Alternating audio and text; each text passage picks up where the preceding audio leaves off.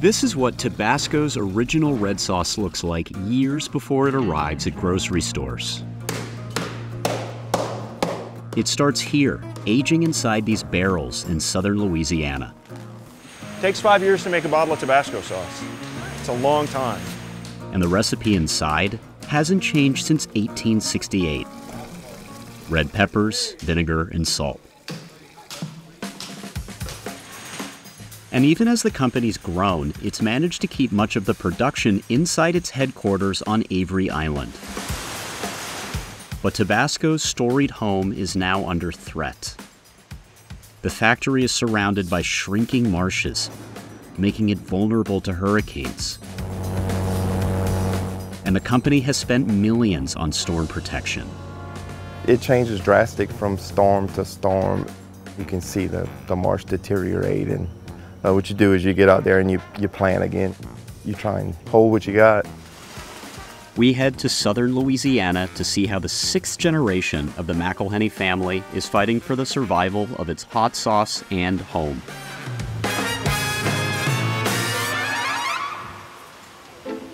Tabasco grows peppers just for seeds inside this greenhouse.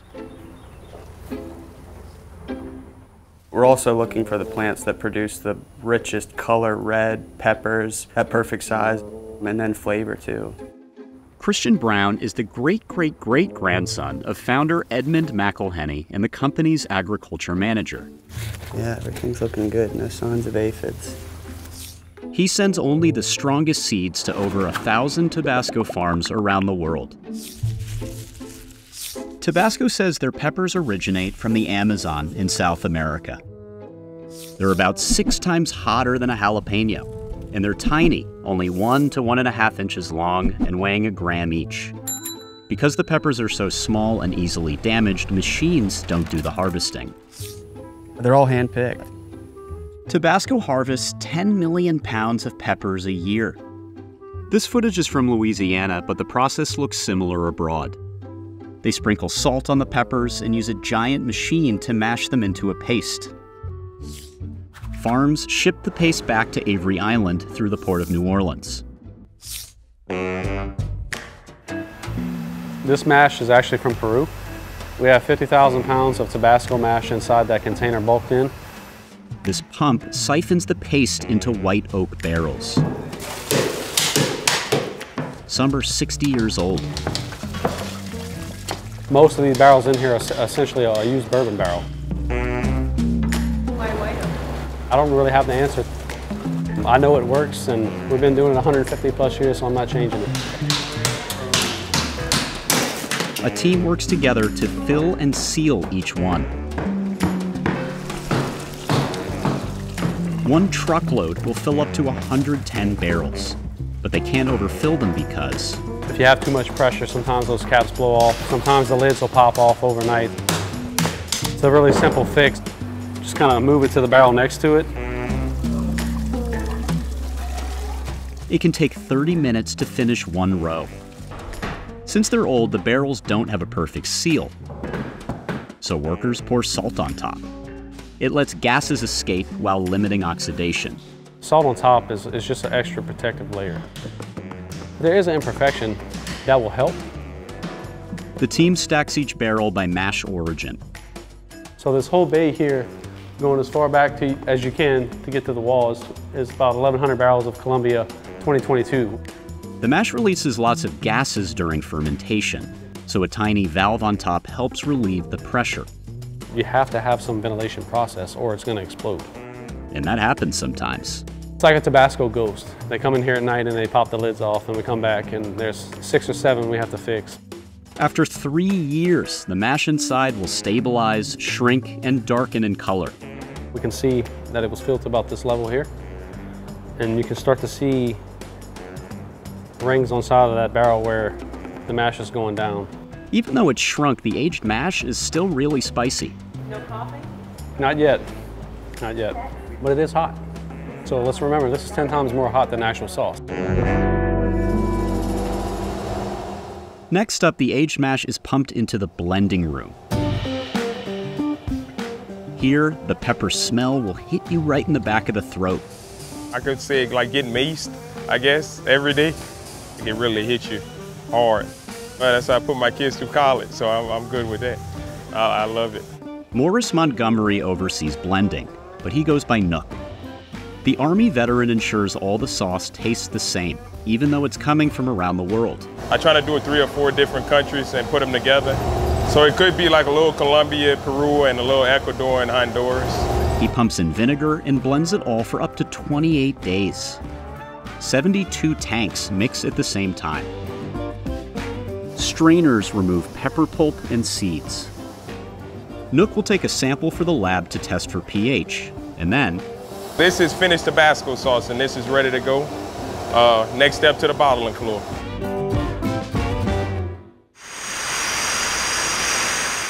that's where John Simmons comes in.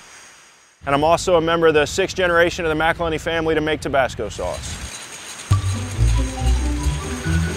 John's factory fills up to 700,000 bottles every day, from minis to the iconic 5 ounce one.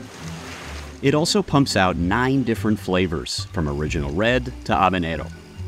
Sriracha is the company's fastest growing one. Today, machines do most of the filling, capping, and labeling. So a bottle is going to go through in about 13 minutes. They gather the bottles and package them into cardboard boxes. We're doing it really fast at like 300 bottles a minute. Next, the shipping room. So we've got product for Germany, Japan, Sweden, Taiwan, the Canary Islands, South Africa. Typically, all these newly packaged products leave the warehouse within three weeks. While the sauce is definitively global, Avery Island has always been home. This was where founder and former banker Edmund McIlhenny first grew the tiny red peppers. He bottled his first hot sauce in 1868, sealed it with wax, and sold just under 700 bottles around the Gulf Coast. Each one cost a dollar. He named the brand Tabasco after the Mexican state known for spice production and exports. Edmund got a patent for it and by the early 1870s was selling his bottles across the US and even in Europe. And then it kind of started to take a little steam and get bigger and bigger. In one 24 hour period, we're going to double and then some more of what Edmund did in his entire life.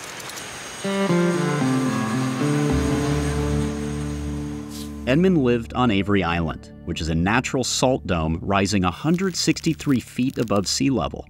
As the highest point along the U.S. Gulf Coast, it's been a respite from raging hurricanes for the McIlhenny descendants that still call the island home. But it's now at risk. Louisiana's coast sinks by an average of a third of an inch per year. On average, between 1985 and 2010, the state lost roughly a football field of wetlands every hour. When land sinks, it's more vulnerable to storm damage. It changes drastic from storm to storm, depending where it makes landfall at. Um, you can you can see the, the marsh deteriorate. Heath Romero is Avery Island's land manager. He said when Hurricane Rita hit in 2005, it turned this island into a lake and parts of the marsh were destroyed. After Rita, the company built an 18 foot levee with a pump system around the factory. We put in uh, water control structures to stop the salt water from getting to the cypress trees. They also planted tall grasses for protection. And you can see we re recovered all of this marsh that was open water at one time. But it's a slow moving process, especially as the home of Tabasco enters another hurricane season. You can't wait for, for, for somebody else to help you. You, you. you have to take action in your own self and try and try and protect what you have.